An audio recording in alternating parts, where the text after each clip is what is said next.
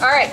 So look, this lady here is creating a coil pot that's going to build up. You can do this as, as well as a base. So what you do when you create a coil pot is you create a slab and then create the shape that you want. It could be tiny or it could be big. And then you're going to do scoring around the outer edge. Scoring meaning roughing up the surface of the clay. Okay, so I score the outer edge. Then I'm going to put just a touch of water, not a lot. If it's really moist um, slab, then we don't want to put much, but she had her slab made yesterday. Slab is a flat piece of clay.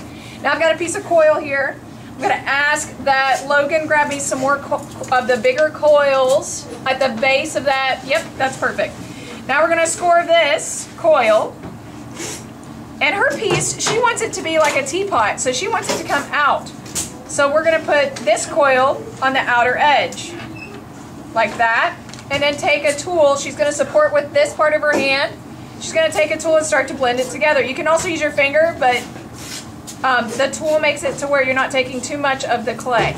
I'm also going to do this on the outer part. Thank you, ma'am.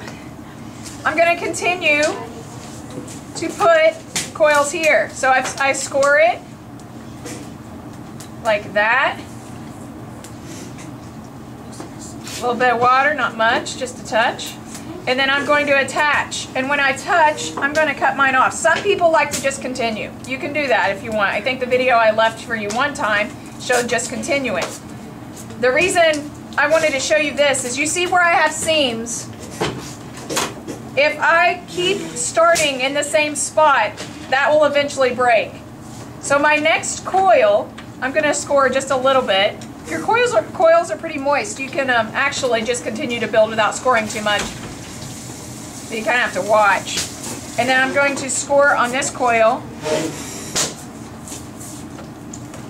and build my next layer here. If I want it to go out, watch this part. If I want it to go out, I put it on the outer edge like that and then blend it.